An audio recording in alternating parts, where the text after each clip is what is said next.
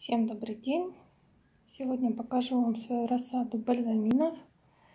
Бальзамины я выращиваю уже несколько лет. Выращиваю на даче, в вазонах, в клумбах. Сочетаю их с алисумами, с хостами. Вот эти бальзамины были выращены из семян. Посеяла их на рассаду 5 февраля. Сегодня 10 мая. Вот так они выглядят.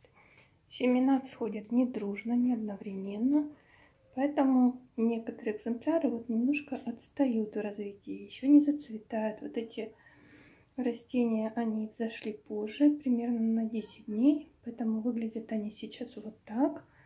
В принципе, неплохо, они все в бутонах. Смотрите, какой хороший ветвистый кустик, хорошая корневая система. Рассаду прищипывать не нужно ветвится сама очень хорошо, поэтому бальзамин растение очень неприхотливое. От вас много ухода оно не потребует, но будет вас радовать цветением все лето до самой осени. Цветочки нежной расцветки это бальзамин э, карнавал серии Саката. А вот это импатиенсы от биотехники. Импатиенсы акробат, они немножко больше размером. И импатиенс Highlight. Расцветки есть разные. Белые, розовые. Лососевые. Называется salmon.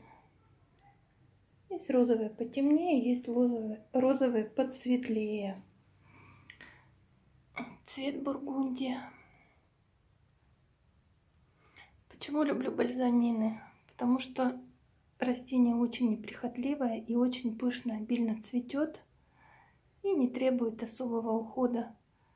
Летом нужно просто поливать, можно подкормить, подкормить комплексным минеральным удобрением, просто развести в лейку одну столовую ложку такого удобрения для цветущих растений и полить, ну, может быть, три раза за сезон. И все будет хорошо. Очень хорошо бальзамин себя чувствует под дождем. Совсем не так, как петуния. У петунии цветочки слипаются. Нужно убирать, убирать. А на бальзамине ничего этого делать не нужно.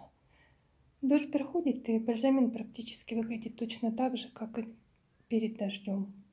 Поэтому можно выращивать в клумбах, в открытом грунте.